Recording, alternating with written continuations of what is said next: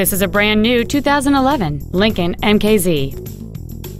It has a 3.5 liter six cylinder engine and a six speed automatic transmission.